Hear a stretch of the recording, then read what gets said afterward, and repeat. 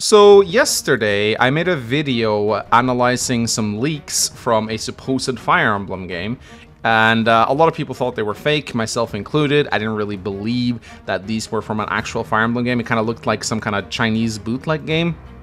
However, today we got another screenshot that was posted, and this really has people speculating, because this particular screenshot is actually of the game's protagonist, or so we think. Uh, this is what she looks like, and um, this matches up with a previous leak from a user named Rönin who leaked a lot of details about the next Fire Emblem game, and he specifically said that the main character is a woman with red and blue hair.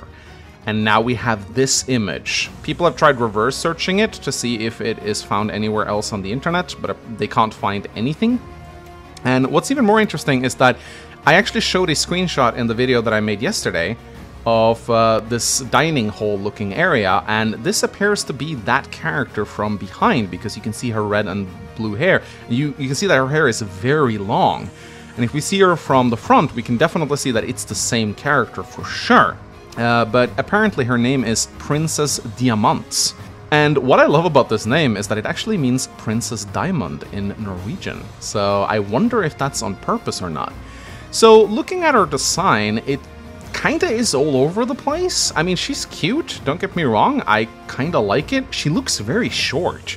I don't know if it's just the angle or her pose, but this does not strike me as a very tall character. She seems like she's like 5 foot 4. She seems very tiny.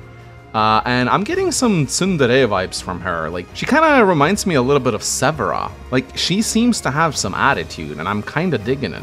She has some shorts on, uh, she has some thigh highs, and she has a lot of colors and details going on. Her design is all over the place. The more I look at it, the more confused I get. I don't know if I like it or I hate it. It just kinda is like she has so many different things on. It's like they couldn't decide on a direction to take her in. Her hair is super long. It goes all the way down to the floor.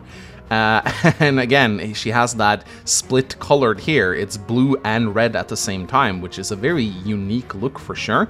She's wielding a sword, but she also holds her hand out, kinda like she's about to cast a spell, so it looks to me like this might be a magic character that wields swords, similar to Awakening's Robin.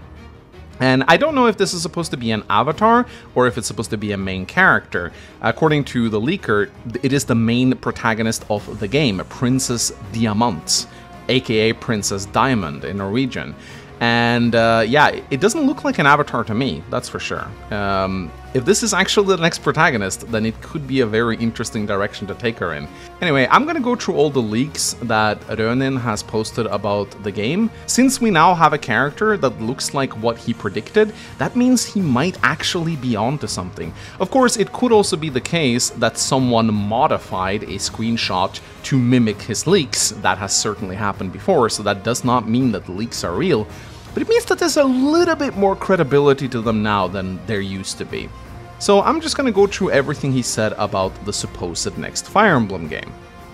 Project might be called Fire Emblem Engage. Game revolves around some sort of ring. You can summon every lord from the past games. The game appears to have two forms of multiplayer, online PvP and co-op missions. The central hub is smaller in size. The game has finished development. I don't buy the over a year thing though. The game is one route, like Awakening. And then he posts some information about this particular screenshot. Uh, he says, those are supposedly unique classes, meaning they are likely essential to the story. Third from the top is the princess. Old man is Tamer, dude on the left is Gold Knight, I think. Dude below him is Prince. Then he said, rumored Fire Emblem princess's name is Diamant. That's what I said about the diamond. There's also a tank named Louis, rogue called Yunaka. And then the final things he said is, Build is from December 2021. Ha, I'd say that proves the game wasn't finished. No weapon durability, but there is weapon forging. Weapon triangle is more punishing slash forgiving. Minigames to raise stats. Mascot character. I'm gonna say it folks, this game screams Fates design. So yeah, these are some very interesting leaks, and uh, it seems like there might be more to them than we first thought. So if this is actually true, then it looks like they're taking the game in more of a Fatesy direction. That probably is going to mean that the story will suck ass. I'm not a huge fan of this Warriors engine that they insist on using for the newer Fire Emblem games. I personally think that Three Houses was a very ugly looking game, and I am not a huge fan that they're continuing down this path. I really wish that they would try something more sprite based, something a little bit more traditional looking, back to maybe sort of like 2D style of Fire Emblem. But then again, Three Houses and Fates did sell like crazy, uh, Echoes, which was a more return to tradition, did not. So it is obvious that they are looking at what is working and what is not working, and they're copying what is working. And as much as I hate to admit it, Fates and Three Houses has sold a lot of copies, so they're looking at that and they're saying, well, that clearly worked, so that's what we're gonna do more of. That's just how things work, we can't really help it.